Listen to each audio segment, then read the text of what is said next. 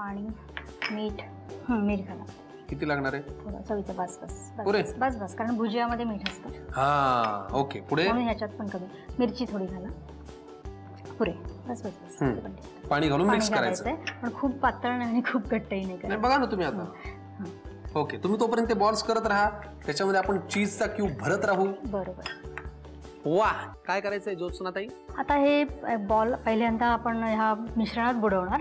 आणि मग नंतर ह्याच्यात घोळवून आपण डीप फ्राय करणार. बरं हे काय आहे तुम्हाला नीट लक्षात आलंय का? की आपण जी बाजारामध्ये मसाला शेव घेतो. किंवा ज्याला काय म्हणतात अजून? आलू भुजिया. आलू भुजिया म्हणतो. तर त्या आलू भुजियाचा आम्ही जरा चुरा करून घेतलाय. म्हणजे कसं त्यातल्या त्यात एक जरा मसाल्याची टेस्टपेक्षा आपण हे जास्त चांगलं. करेक्ट पण आता ही कृती आपण करूया. ज्याच्यासाठी तुम्ही आलायत बरोबर. ज्याच्याविषयी लोकांनी जाणून घ्यावं असं तुमचं म्हणणं आहे जे की करेक्टच आहे. सांगा ना आम्हाला. स्पर्श ही संस्था अंडर प्रिव्हिलेज मुलांसाठी काम करते आणि त्यांना मदतीसाठी म्हणून न्यूट्रिशन आणि बाकी सगळी मदत करते. तर त्याच्यात काही प्रोजेक्ट्स पण आता आहेत केलेली. तर त्याच्यामध्ये इन्व्हेस्ट इन मॅन ट्रस्ट हे एक ट्रस्ट आहे.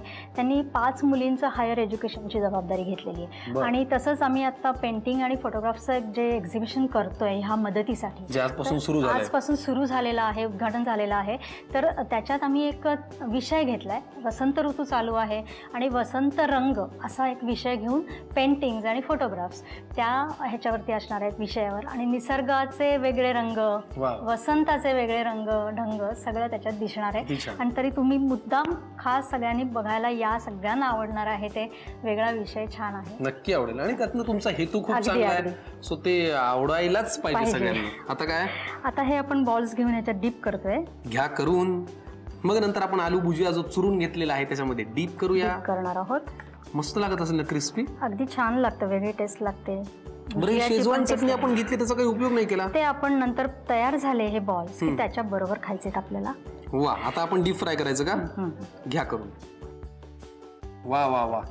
आणि याला डीप फ्राय व्हायला फार वेळ लागणार नाही कारण वरचं आवरण हे शेवेचं असल्यामुळे ते तसं फार असं कडक नाहीये आणि आत सुद्धा पनीरच आहे बरोबर? चीज पनीर पॉपकॉर्न तयार झालेले आहेत. आम्ही त्याला शेजवान चटणी सोबत सर्व करतो. तुम्ही लिहून घ्या साहित्य आणि कृती.